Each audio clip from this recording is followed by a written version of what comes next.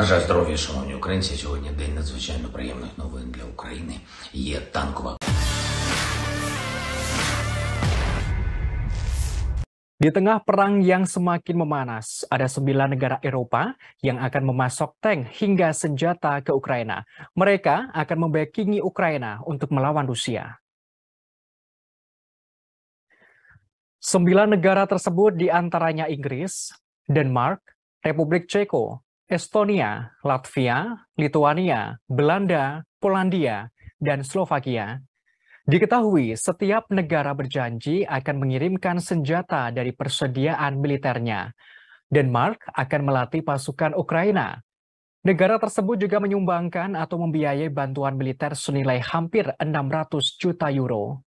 Selanjutnya Republik Ceko yang mengamunisi kaliber besar, howitzer, dan pengangkut personel lapis baja. Republik Ceko juga akan meningkatkan pemeliharaan, perbaikan, dan kapasitas operasi.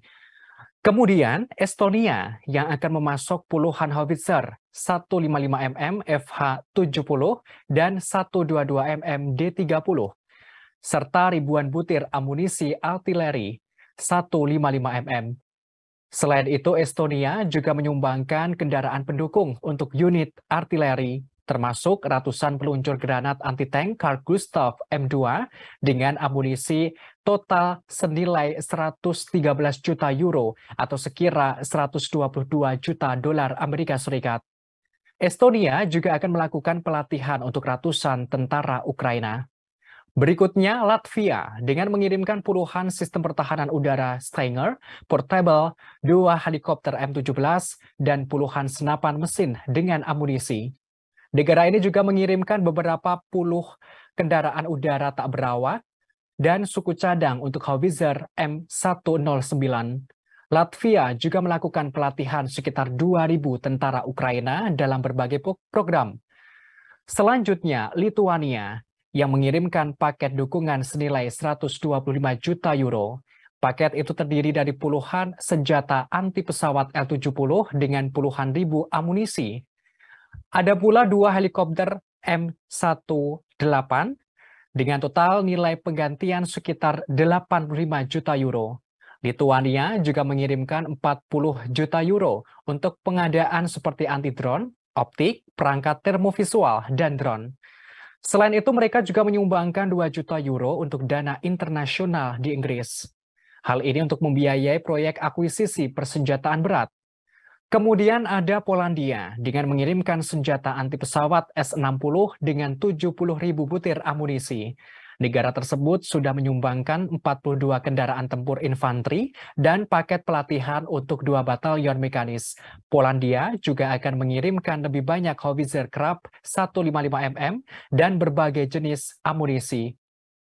Selain itu ada Slovakia yang meningkatkan produksi howitzer peralatan penjinak ranjau, dan amunisi. Mereka akan melatih tentara Ukraina dan memperluas kegiatan pelatihan.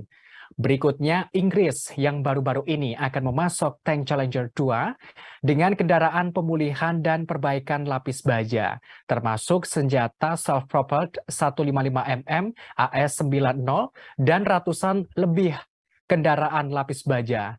Inggris juga mengirimkan lusinan sistem udara tanpa awak lainnya serta 100.000 peluru artileri. Untuk pertahanan udara, Inggris mengirimkan roket pemandu senjata, maksud kami sistem peluncur ganda. Bahkan Inggris mengirimkan rudal pertahanan udara Starstick dan rudal pertahanan udara jarak menengah. Untuk amunisi, Inggris memasok 600 amunisi anti-tank Brimstone dan suku cadang untuk memperbarui hingga 100 tank Ukraina serta kendaraan tempur infanteri. Inggris akan melanjutkan pelatihan tentara dan mengordinasikan dana internasional untuk Ukraina. Dana itu kini telah terkumpul hampir 600 juta pound sterling dengan para mitra negara. Selanjutnya ada Belanda yang membantu melatih tentara Ukraina. Negeri kecil angin ini juga mengirimkan baterai Patriot ke Ukraina. Hal ini untuk melengkapi bantuan sistem pertahanan Patriot dari Jerman dan Amerika Serikat. Terima kasih sudah nonton. Jangan lupa like, subscribe, dan share ya.